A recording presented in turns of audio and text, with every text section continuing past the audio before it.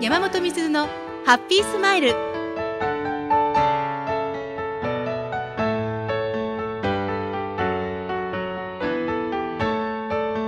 おはようございます。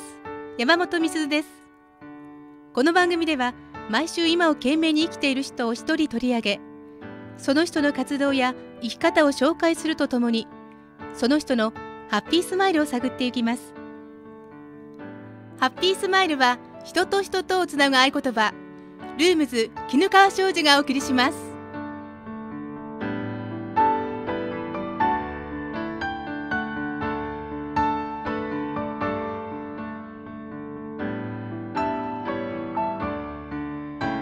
金沢東山寿司どころ高島高島健也さんにお話を伺いました。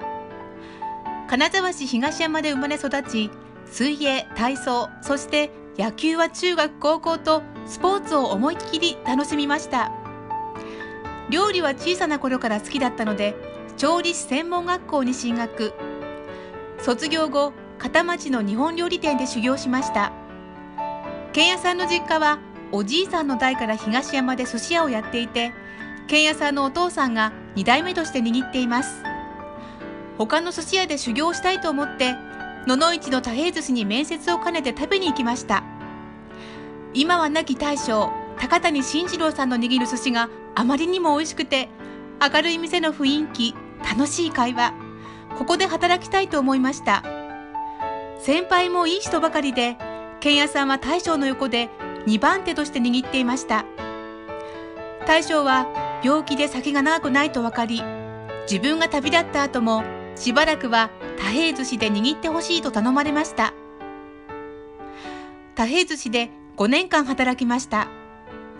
そして実家の金沢東山寿司どころ高島に入りました。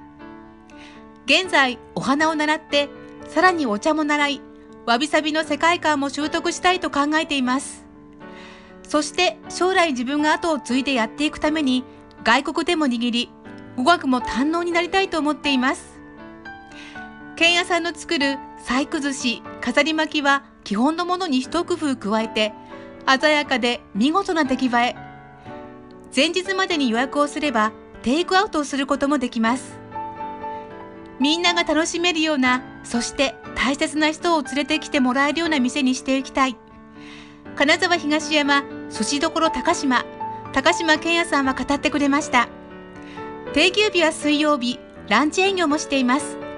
飾り寿司食べてみたいです